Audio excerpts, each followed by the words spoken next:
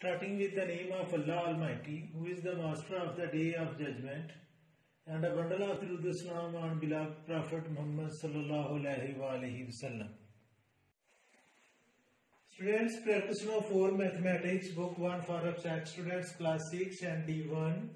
And practice now 4 is the formula of force is MA, whereas units are Newton, kilogram, and meter per second square. Newton is the unit of force, kilogram is the unit of mass, whereas meter per second square is the unit of acceleration. And in A part, mass is given that is 1000 kilogram, whereas acceleration is 0.05 meter per second square, and we have to find force. Now, students, we will uh, write the formula that is F is equal to MA and now we will put the values F we have to find so F will be written as it is and mass is 1000 kilogram.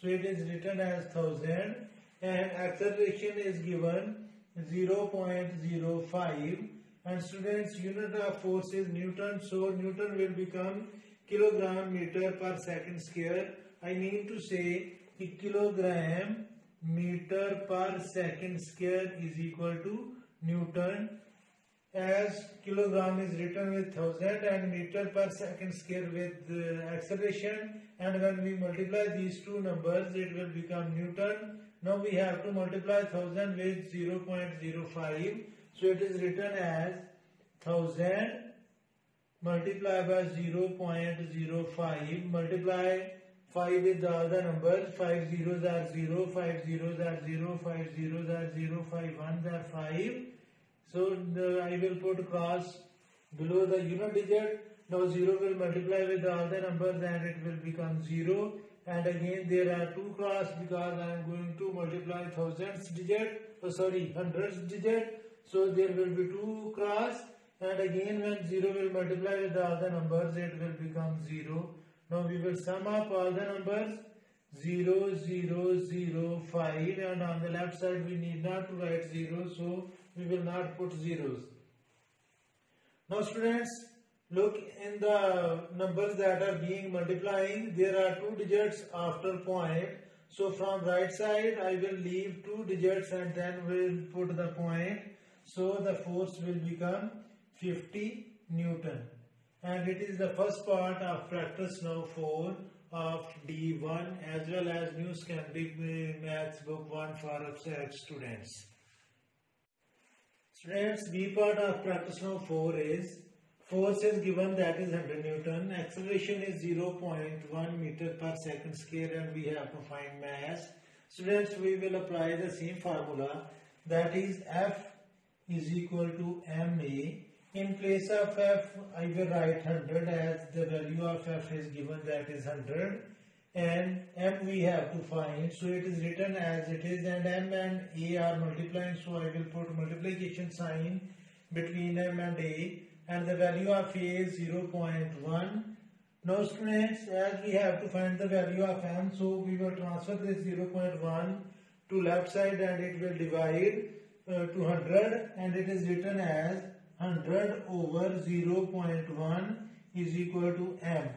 Students, now we have to divide 100 with 0.1. So the easiest way is I will write 100 multiply by 10 because there is one digit after 0 after decimal point.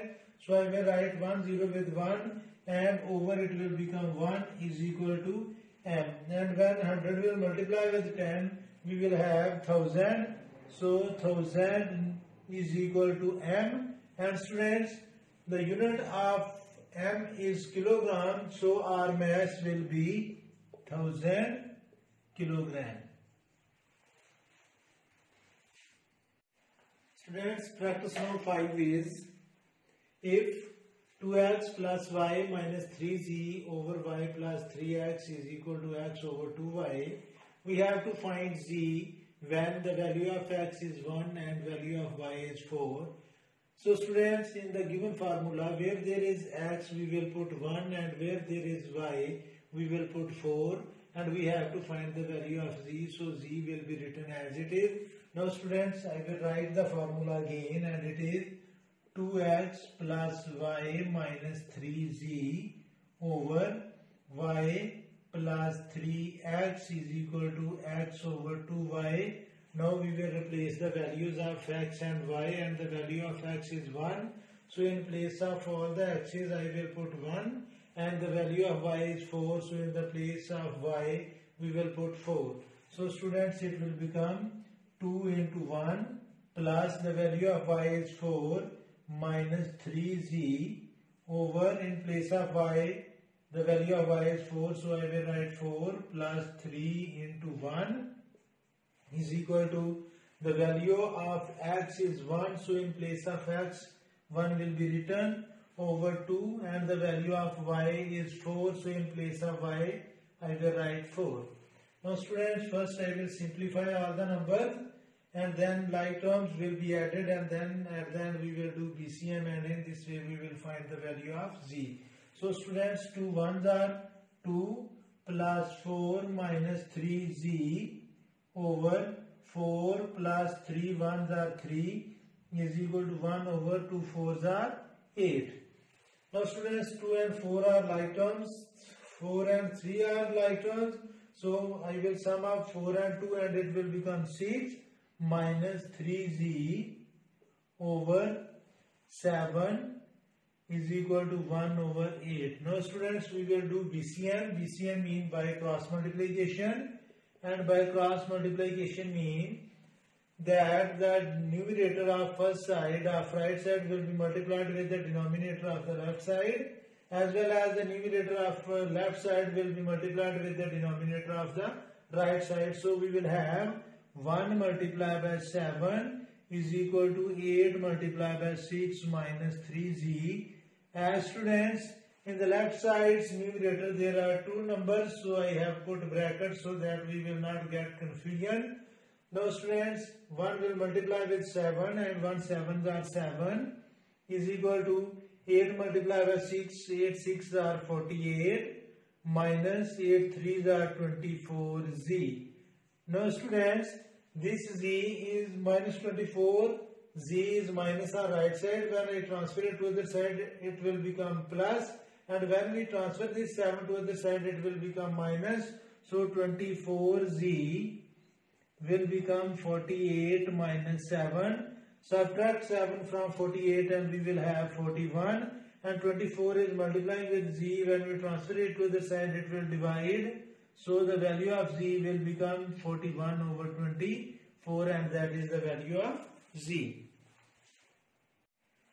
Students, second question of practice four, five, uh, 5 is if t is equal to v minus u over a then find a when t is equal to 3 v is equal to 2 whole number 1 over 2 and u is equal to 1 whole number 1 over 3.